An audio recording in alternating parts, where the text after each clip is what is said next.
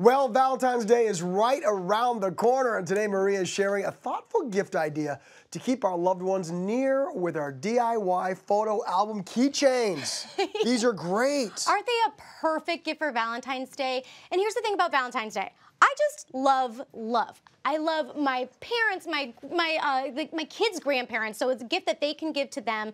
And when I think of Valentine's Day, I just want to celebrate all the love I have for everybody. And this is the perfect gift to get for somebody who you can't th think of what to get for them, like my mother-in-law. I ask her, I'm like, what do you want? She goes, I just want pictures. So this is the perfect replacement for those old school brag books where you pull out your wallet right, and right, it's right. like this long. Exactly. This is very chic and it, truthfully, it can be for your keys, but this can go on a gym bag, a golf bag, a purse, anything. Piece of luggage, A piece anything. of luggage, anything, because they're very, very chic, and of course they're personalized. Okay, and you always have a photo of those that you love Yes. right there with you. Okay, so let's get started.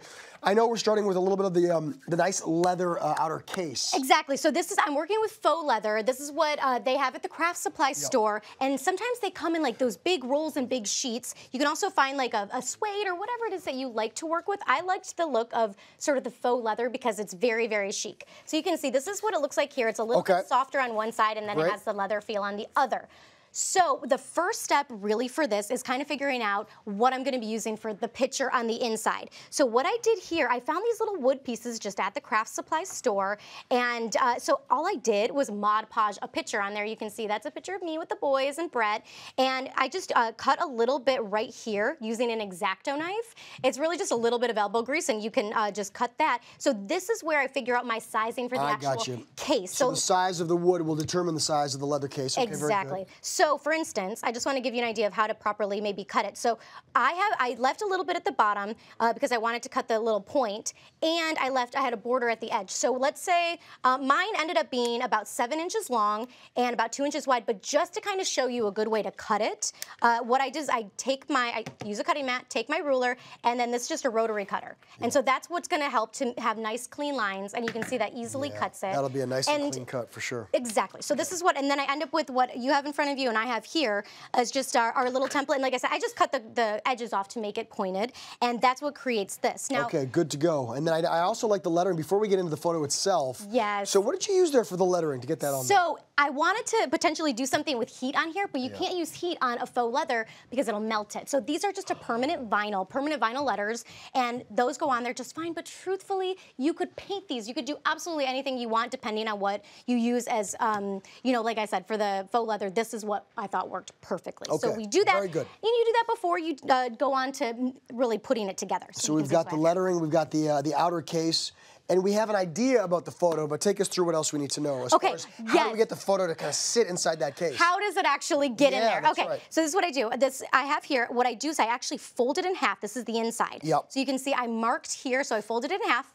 I marked it, and then I cut the inside right here with an X-Acto knife. Now I also cut another piece of the faux leather. This is about a quarter inch wide, about five inches long-ish. And so what I do is I actually just put a little. I put one of. I'm going to do this from the inside. Okay. Put one through, and then I take my photo and put it through the little slit that I cut. So the slit that I cut is cut based on the size of my the extra little piece I have here. So you put both of them in.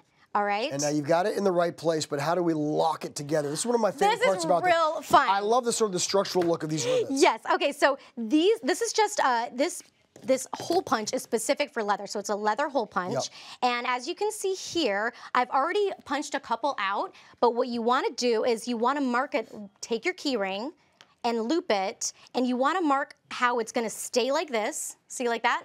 Yeah. You wanna do that, but you wanna mark, so I just took a pencil and I would kind of put it through here, do my first hole, do my second hole, and you can see I have a mark for my third hole. So Mm-hmm. then, after I have all three, I take, this is a, called a double-sided, look, look how much fun this is, wait. Do you want me to help out? Nope. You got it. I got it. Hey, Cameron, I work out. So, it's actually not that hard. Um, I just wanted, you know, to, to tell, to brag a little To, bit, right? Yeah, to show okay. off a little bit. Go ahead. So you take your like this, and this is called a double-sided rivet. So what you do is you go through all three of these. Okay. And this is also another reason to be excited because I get to use a hammer, everybody. This is real fun. Okay, so put this together. We have our wood here. See this? This Little all comes yeah. with a little rivet set. You want to put this on there and this here, and all you do is take your hammer. Ready for it? Want me to hold that down for you? Are you, you go. A little bit. A little bit.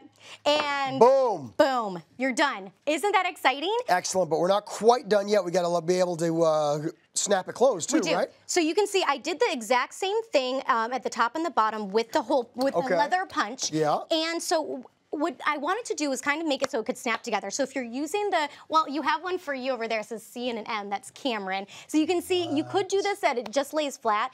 But I will say with this in particular, you want to use the snap so that it stays shut because the leather one's going to open and close. So you have your little snaps here, Yep. and it's essentially the same process as uh, you want to make sure that you're putting it in the proper way. Sort, sort of like the rivet is what it's the saying. exact same thing as the rivet. And you do this, and you put it on here, and If you went to a fancy leather store and you found this, you know, like if you're traveling, whatever you go to the, this would be so much money and it looks so professional, Maria. It does, and you just repeat that, and that's what I'm saying. Like, it's just put it on there. I created a template so that I could do this Yeah. multiple times, and then you put it all together. And look at, you just snap it closed. Oh, I have these all over here. That one's for you. I'm just saying, I, I don't know what else you're going to do with it. Do we have anybody else with the CM initials? No, it's for you, Pictures of the Mathison family inside? I don't think so. You know where to go.